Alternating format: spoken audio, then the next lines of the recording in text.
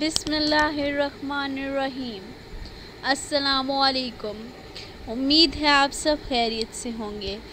आज की वीडियो का टॉपिक है इस्लाम्स पॉलिटिकल सिस्टम अल खलीफा। सो, स्टार्ट करते हैं। द फर्द ऑब्लिगेशंस ऑफ़ अल खलीफा। Evidence from Quran. एक दो इसमें से मैं जो है verses पढ़ूँगी। First one is this. Indeed, we have revealed to you the book with the truth, so that you may rule between mankind by that which Allah has shown you. So, the Nisa 105. And then next, evidence from Ahadith. One will I discuss. Ahmad and Ibn Abi Asim narrated that the Prophet ﷺ said, Whosoever dies and he does not have over him an imam, he dies the death of Jahaliya. Ed- evidence from Shaba, Sahaba Raziallah Ta'ala Anhu. The first one I will discuss with you.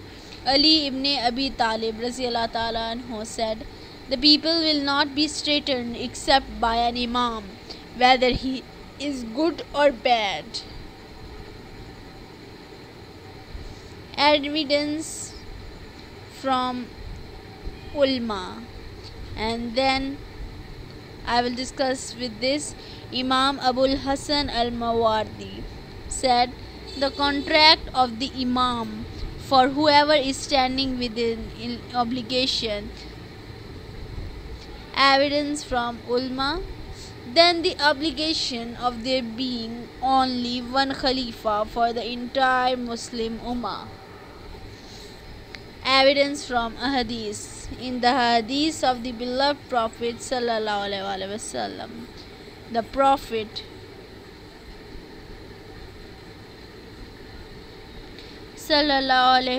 wasallam said when the oath of allegiance has been taken for two caliphs kill the later of them evidence from ulma.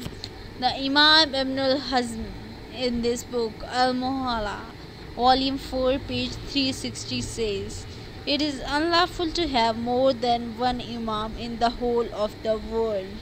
Al-Imam al-Juzuri, an expert on the fiqh of the four great schools of thought, said regarding the fourth Imam, it is forbidden for Muslims to have two Imam in the world, whether in agreement or discord from Fiqh Muttahab al-Arab. Promises for Khalifa.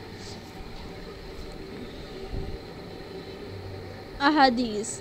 And concerning the liberation of Masjid Aqsa from the Jews, the Prophet said, Two hijras will take place, and the later will be to the place where your father Ibrahim may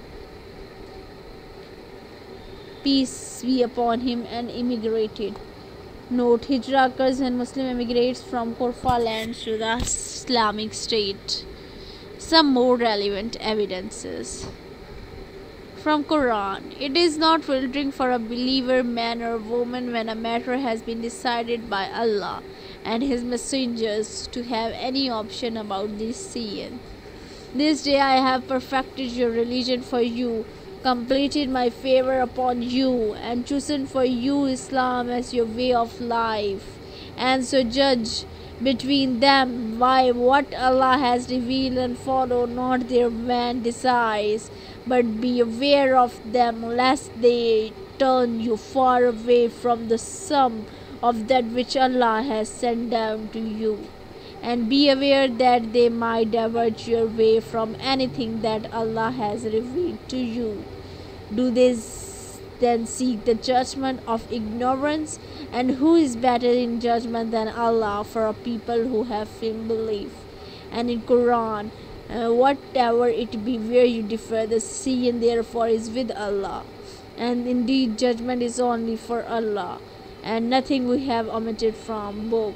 And let those who oppose the messenger's commandment be aware least some affiliation affiliation befall them or a painful torment be inflicted on them. So thank you so much